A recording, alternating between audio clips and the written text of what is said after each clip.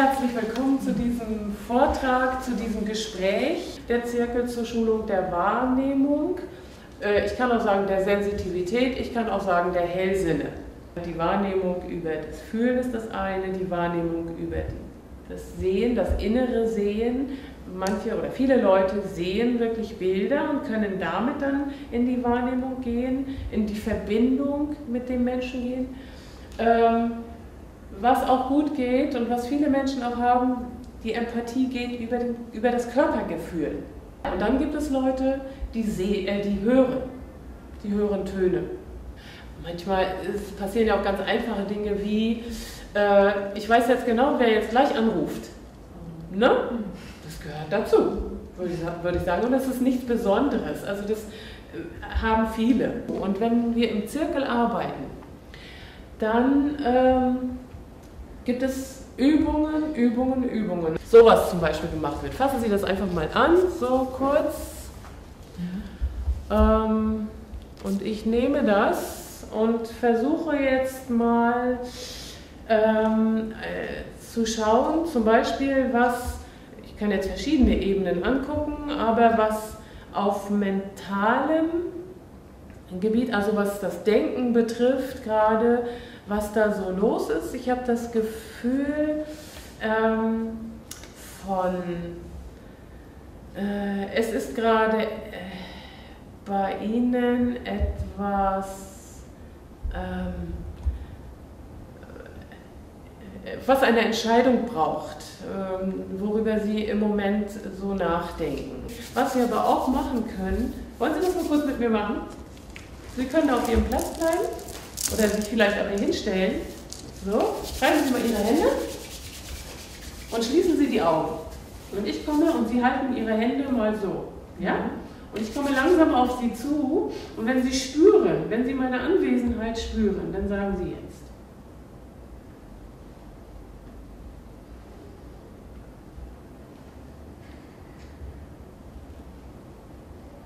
Jetzt. Mhm. Das war das erste. Ich gehe nochmal weiter. Ja, geh noch weiter.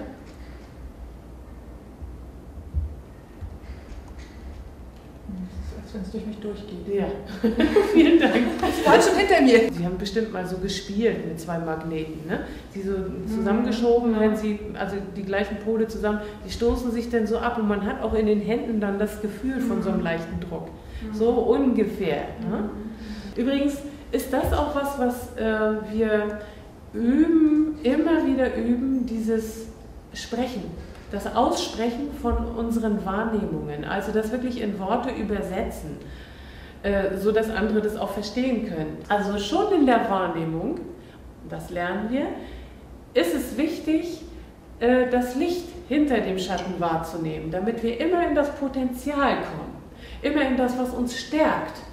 Aber indem man es ausspricht, ist schon mal ein Lichtstrahl raufgefallen. Können Sie sich das vorstellen, dass das so mhm. ist? Mhm. Also die Rede ist ganz, ganz wichtig.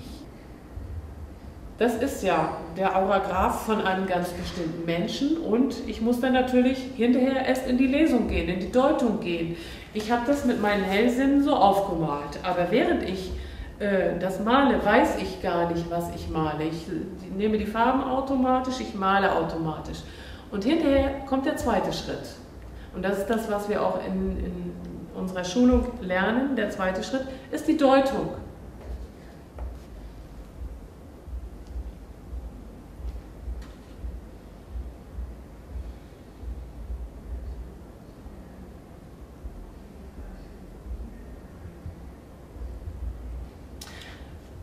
Das erste, was ich ganz klar gesehen habe, war dieser dieser rosane Ball, ähm, der so strahlend, strahlend ist und dann kamen noch diese gelben Strahlen dazu. Ähm, es scheint, dass, eine, dass sie ein heilerisches Potenzial auch haben. Ja, sind Sie? Fühle ich mich angesprochen, ja. Ja. Mhm. Äh, sind aber beruflich nicht da jetzt äh, tätig oder doch? Ein bisschen schon ja.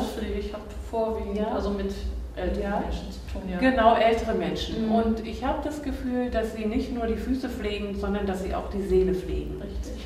mit voller Hingabe zu tun. In welcher Situation auch immer. Okay. Also das jetzt auch in aller Kürze zu dieser Karte. Das möchte ich Ihnen gerne mitgeben. Dankeschön. Bitte schön.